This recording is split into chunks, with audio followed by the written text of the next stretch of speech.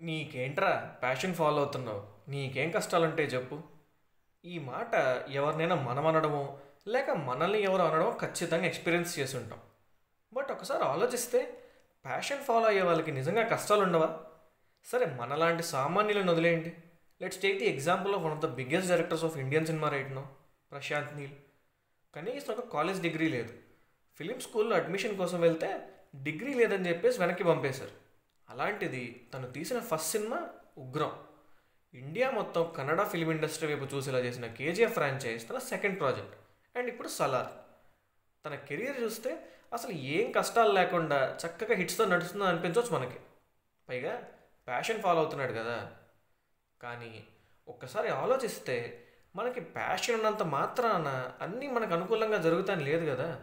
Not just in film making వేరే ఫీల్డ్స్లో కూడా మనకి ప్యాషన్ ఉన్నా టాలెంట్ ఉన్నా దానికి ఒక సర్టిఫికేషన్ లేకపోతే మాత్రం మనల్ని ఎవడు దేకను కూడా దేకడు. సినిమాల్లో అయినా అంతే. నీకెంత టాలెంట్ ఉన్నా కూడా నువ్వు ఒక అసిస్టెంట్ డైరెక్టర్గానో లేక రైటర్ గానో ఇన్ని ఇయర్స్ ఆఫ్ ఎక్స్పీరియన్స్ ఉంటే కానీ నీకు ఎవడన్నా ఛాన్స్ ఇస్తాడు. ప్రశాంత్ నీల్ విషయంలో కూడా జరిగింది అదే. ఎక్స్పీరియన్స్ లేకపోయినా శ్రీమురళి తనకి బావ అవడంతో తనని నమ్మి ఆ మూవీ స్టార్ట్ చేశాడు శ్రీమురళి. ప్రొడ్యూసర్స్ కూడా తనకి ఒక బడ్జెట్ అయితే ఇచ్చారు కానీ ఏ రోజు కూడా తన విజయాన్ని నమ్మలేదు. తను ఇలా తీస్తాను సార్ ఇంత బడ్జెట్ ఇవ్వండి అంటే ఇచ్చింది లేదు.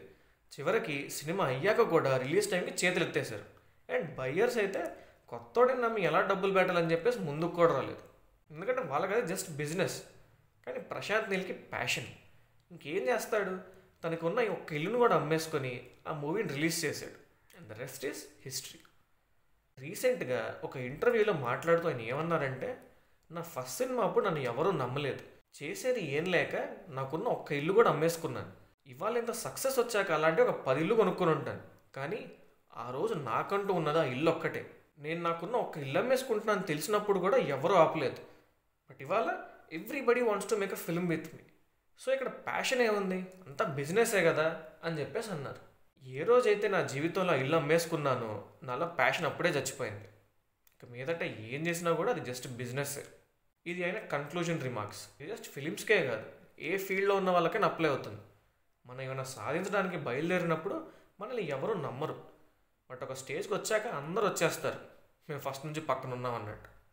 ఆ టైంలో నిజంగా మన ప్యాషన్ ప్యాషన్లానే ఉంటుందా? నాకు డౌటే ఈ వీడియో నేను ప్యాషన్ ఫాలో అయ్యే వాళ్ళని డిస్కరేజ్ చేయడానికో లేకపోతే ఒక సెలబ్రిటీ ఒక మాట చెప్పాడు దాన్ని పట్టుకొని ఓ పెద్ద పాపులర్ చేసేద్దని చెప్పేసి చేయట్లేదు. ఆ ఇంటర్వ్యూ చూశాక ఎంతోమంది ఫేమస్ పీపుల్ ఒప్పుకొని ఒక నిజాన్ని నేను ఒప్పుకున్నందుకు నాకు ప్రశాంత్ మీద ఒక రెస్పెక్ట్ పెరిగింది. And I just wanted to share that with you guys thank you sir and wishing you all the best for your future projects